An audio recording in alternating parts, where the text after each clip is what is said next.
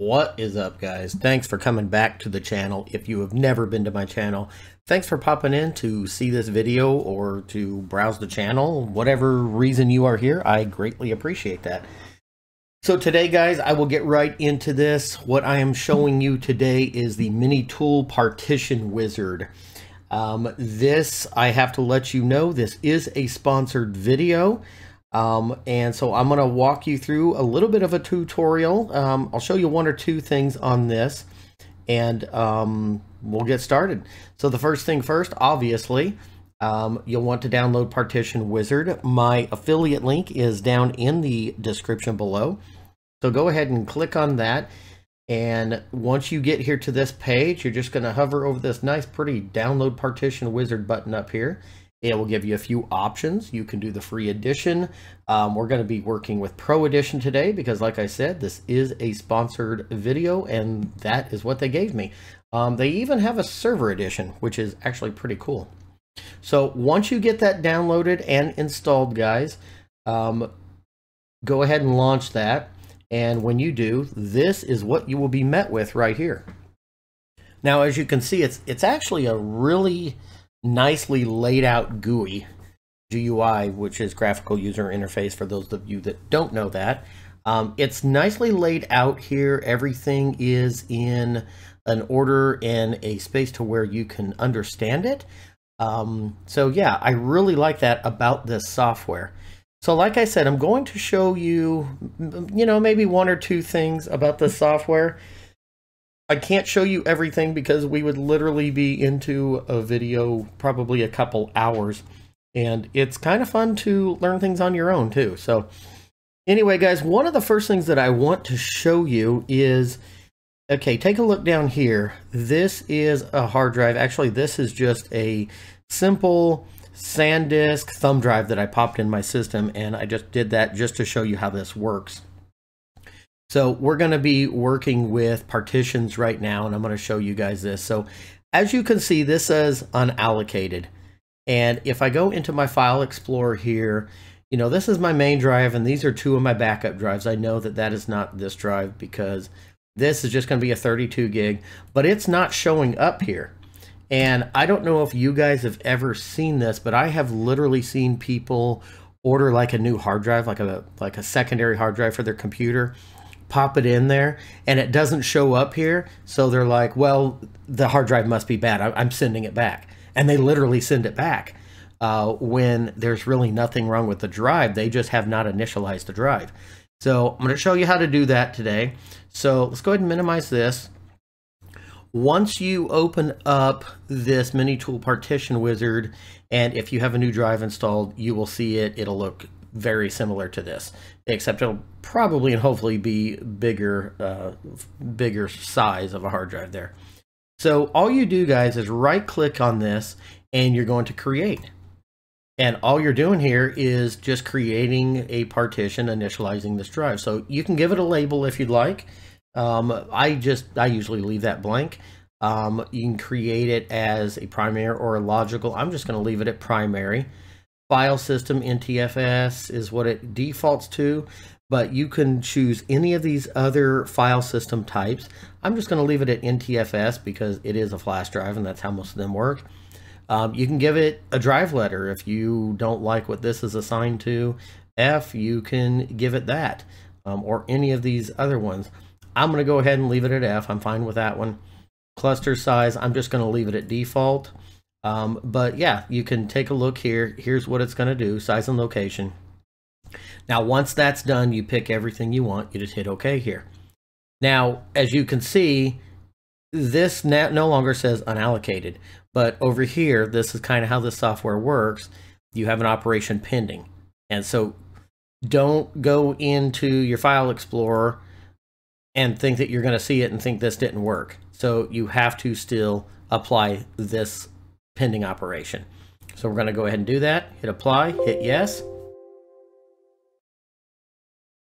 Now it should not take long because it's, like I said, it's not a big drive at all. It um, It's just a 32 gig flash drive, so it should not take long to do this. If it were a much bigger drive, you might be sitting here a little while longer, um, which that would be okay. So and it's doing its thing. All right, and those changes were made successfully. So you just hit OK. So now you can pop into your File Explorer and you see your brand new drive here. And if you open it up, you can see it is ready for use. You have some data written to it. So think of this. Think of, you know, after you get this installed, you go, oh, you know what? I wanted to, I wanted to split this. You can actually split a drive, guys, into two different drives. You're like, I want to split this because I wanted to put documents on one. I wanted to put pictures on the other. We can do that. So make a note, it's the F drive, the 32 gig flash drive. All you do is come back in here and you're going to go here to split this. And it's actually, it's, it's so easy to do because they have this really nice little toolbar here. And all you do is grab this and say, okay, say for instance, I want the first, and it's going to give drive letters here, F and G. Um, just think, okay, I want the first to be 10 gigabytes. So all you have to do is bring that down to 10 gigabytes. And we're just going to get close there. We're not going to make it perfect or I'll be here going crazy. Um, so, okay, so you want the F drive to be a 10 gigabyte because you're just going to throw some documents on there. You want this one to be a little bit bigger because you're going to throw some images on there. Okay, so, and yeah, I guess I could have came down here too.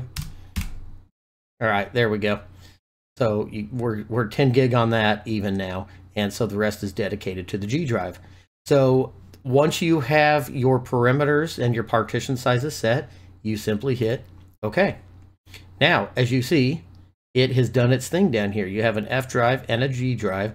Now remember, guys, you're not going to pop right into your File Explorer here and see the G drive. You have to apply the pending operation. So let's go ahead and do that. Yes, we are sure. And this shouldn't take long, probably about the same amount of time, maybe a little bit quicker, or maybe a little bit longer. And we will let that finish there.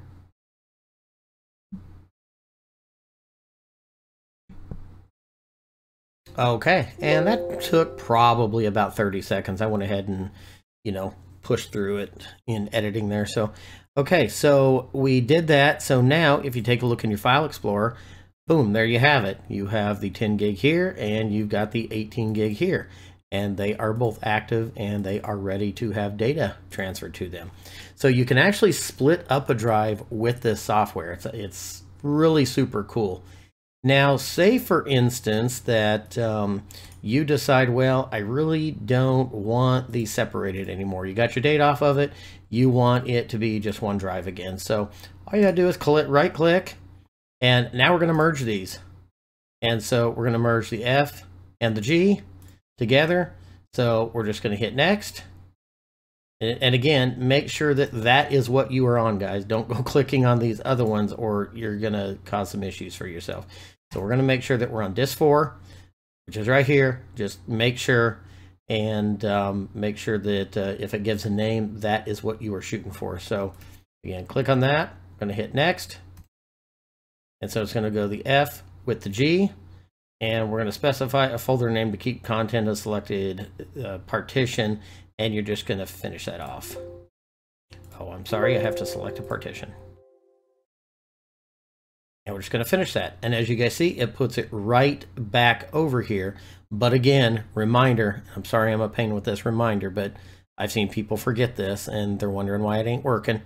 Um, because if you go in here, you're still seeing both. And so we're going to merge. We're going to hit apply. Yes. And it looks like this might take a little bit uh, less time than the actual splitting of the drive. So we'll see here.